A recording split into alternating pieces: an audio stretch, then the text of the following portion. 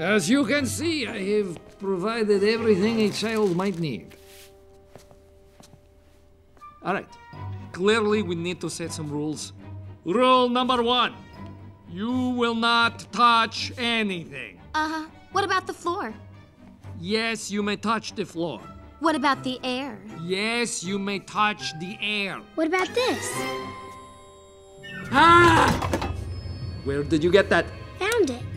Okay, rule number two you will not bother me while I'm working.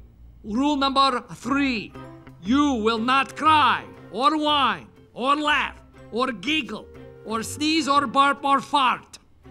So, no, no, no annoying sounds, right? Does this count as annoying?